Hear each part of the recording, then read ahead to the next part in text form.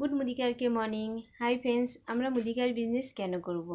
মুদিকার business করলে যেরকম ইনকামও আছে ইনকামের সঙ্গে সঙ্গে সম্মানও আছে। সেটা তো দেখে নেবেন এইখানে আমি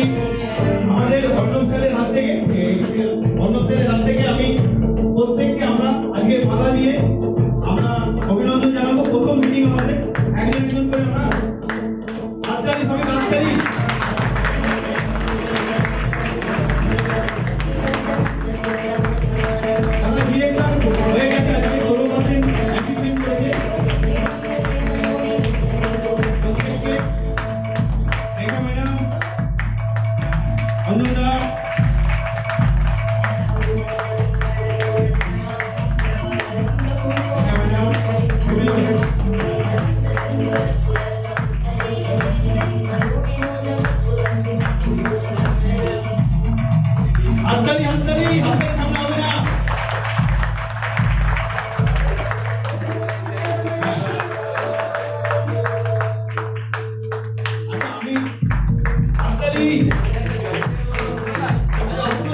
সবাই ডিরেক্টর হবেন সবাই ভালো কাজ করবেন এই আশা নিয়ে আজকে বক্তব্য শেষ করলাম।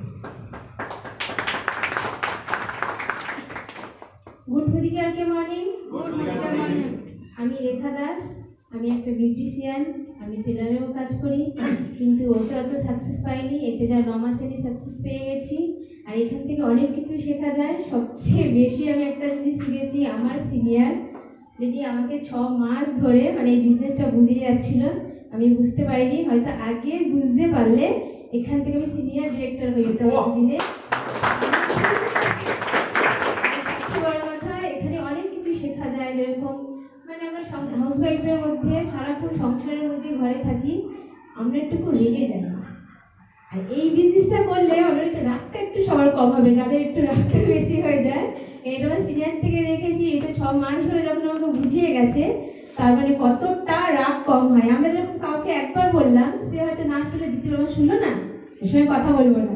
কিন্তু এখানে বিজনেস এই বিজনেসটা করলে ওই জিনিসটা আসবে অটোমেটিক চলে যাবে অনেক ঠান্ডা হয়ে যাবে মানে সব কিছুই শিখতে পারছি। ইনকাম হচ্ছে, বিদেশ ঘুরতে যেতে পারব, তারপরে রাগ কমবে সব কিছু এখান থেকে পাচ্ছি, তাহলে কেন করব না? যারা এখানে গেস্ট আছে, তারা করুন। আমার মতো দেরি করবেন না, এই বলে আমার বক্তব্য শেষ করছি। গুড মদিকা